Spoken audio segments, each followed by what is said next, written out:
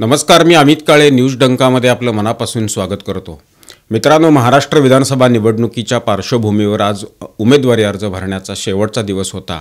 आणि महाराष्ट्रातल्या प्रमुख राजकीय पक्ष आणि काही अपक्ष उमेदवारांनी सुद्धा आज आपले उमेदवारी अर्ज भरलेले आहेत. अर्थात अर्ज माघारी घेण्याची तारीख ही चार असल्यामुळं चार तारखेला निवडणुकीचं मैदान हे स्पष्ट होणार आहे. दरम्यान आज राष्ट्रवादी काँग्रेसचे अध्यक्ष आणि राज्याचे उपमुख्यमंत्री अजित पवार यांनी दक्षिण महाराष्ट्रात खास करून सांगली जिल्ह्यामध्ये प्रचारसभा घेतल्या.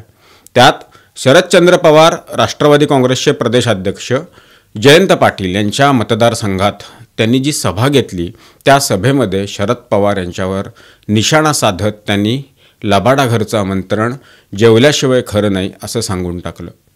आपण बघतोय की गेल्या दोन दिवसांपासून अजित पवार आणि शरद पवार यांच्यामध्ये वाकयुद्ध चालू आहे. काय झालं? लोकसभा निवडणुकीच्या रणधुमाळीमध्ये काँग्रेस असेल किंवा इंडिया आघाडी असेल यांना सत्ताधारी भारतीय जनता पक्ष आणि एन डी ए यांच्या विरोधामध्ये संविधान बदलणार हा एक नरेटिव्ह फिक्स करता आलेला होता.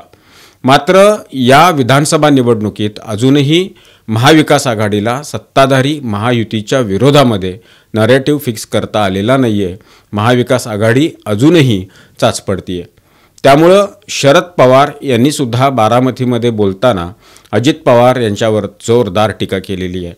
अजित पवार यांच्यावर टीका करत असताना महायुती सरकारवर टीका करत. त्यांनी महाराष्ट्रात उद्योग कसे आले नाहीत आणि महाराष्ट्रात येणारे उद्योग हे गुजरातला कसे गेले असा एक मुद्दा सांगण्याचा प्रयत्न केला. या त्यांच्या टीकेला अर्थातच भारतीय जनता पक्षाचे नेते आणि उपमुख्यमंत्री देवेंद्र फडणवीस यांनीसुद्धा ट्विट करून उत्तर दिलेलं आहे. शरद पवार यांच्यासारख्या ज्येष्ठ नेत्यांनी या वयामध्ये इतकं खोटं बोलायचं नसतं असं म्हणत त्यांनी काही पुरावेसुद्धा या ट्विटच्या माध्यमातून सादर केलेले आहेत. महाविकास आघाडीमधल्या नेत्यांच्या टीकेला तत्काळ उत्तर देण्यात आणि तेही पुराव्यासह यामध्ये महायुतीचे लोक सध्या आघाडीवर असल्याचं आपल्याला दिसून येईल. तर मुद्दा हा आहे की अजित पवार यांनी शरद पवार यांच्यावर इस्लामपूरमध्ये जाऊन टीका केली. इस्लामपूर हा जयंत पाटील यांचा बालेकिल्ला आहे. आणि जयंत पाटील यांच्या विरोधामध्ये निशिकांत पाटील यांच्या रूपानं अजित पवार यांनी तिथं उमेदवार दिलेला आहे. यापूर्वी इस्लामपूर नगरपालिकेच्या निवडणुकीमध्ये निशिकांत पाटील यांनी जयंत पाटील यांना धोबी पछाड दिलेला होता. त्यामुळं ही विधानसभा निवडणूक तिथं चुरशीशी होणार अशी अटकळ बांधली जाते आज उमेदवारी अर्ज भरण्याच्या शेवटच्या दिवशी निशिकांत पाटील यांच्या प्रचारासाठी अजित पवार यांनी सभा घेतली. आणि काही दिवसापूर्वी शरद पवार यांनी इस्लामपूरमध्ये जाऊन जयंत पाटील यांच्या प्रचारासाठी घेतलेल्या सभेचा दाखला देत त्यांनी पवार यांना लक्ष केलं.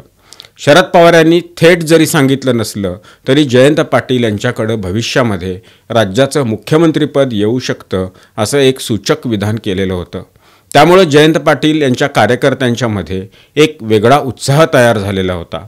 हाच धागा पकडत आज अजित पवार यांनी दोन हजार चारच्या विधानसभा निवडणुकीमध्ये राष्ट्रवादी काँग्रेस पक्षाला काँग्रेसपेक्षा दोन जागा जास्त असतानासुद्धा आणि नैसर्गिकरित्या मुख्यमंत्री पदावर राष्ट्रवादी काँग्रेसचा हक्क असतानासुद्धा शरद पवार यांनी चार इतर मंत्रिपदं जास्त घेऊन मुख्यमंत्रीपद हे काँग्रेस पक्षाला दिलं. त्यावेळी राष्ट्रवादी काँग्रेसचे प्रमुख नेते हे चांगलेच बुचकळ्यात पडलेले होते. त्या घटनेची आठवण करून देत लबाडा घरचा अवतान जेवल्याशिवाय खरं नाही जे बोललेलं आहे ते सगळं थापा आहेत असा थेट आरोप त्यांनी शरद पवार यांच्यावर केला. आणि त्यांनी जे सांगितलं ती सुद्धा वस्तुस्थिती आहे. कारण दोन हजार चारला राष्ट्रवादी काँग्रेसच्या जागा जास्त आलेल्या होत्या आणि मुख्यमंत्रीपद शरद पवार यांनी नाकारलेलं होतं. अर्थात ते का नाकारलं याचं कोडं अजूनही उलगडलेलं नाही. त्याच्यामुळं पवार बोलतात ते करत नाहीत हेच अजितदादांनी आज स्पष्ट केलेलं आहे. जाता जाता त्यांनी जयंत पाटील यांच्यावर सुद्धा प्रहार केला. करेक्ट कार्यक्रम करणं हे जनतेच्या हातात असतं. ती जनता बरोबर करते असं सांगून त्यांनी जयंत पाटील यांच्या कार्यपद्धतीवरती टीका केली. एकूण काय तर प्रचाराचे फटाके आता फुटायला सुरुवात झालेली आहे. फटाके फुटायला लागलेत. त्यातल्या त्यात बारामतीकरांच्या बॉम्बचे आवाज मोठे येऊ लागलेले आहेत.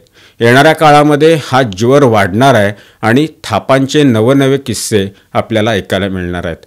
तुर्त इथंच थांबतो. हा व्हिडिओ आपल्याला कसा वाटला ती आपली प्रतिक्रिया कमेंट बॉक्समध्ये देऊन जरूर कळवा. व्हिडिओ आवडला असल्यास तो लाईक करा शेअर करा आणि आमचं चॅनल सबस्क्राईब करायला विसरू नका. धन्यवाद. आमचा व्हिडिओ जास्तीत जास्त लाईक करा शेअर करा आणि आमचं यूट्यूब चॅनल सबस्क्राईब करा. धन्यवाद.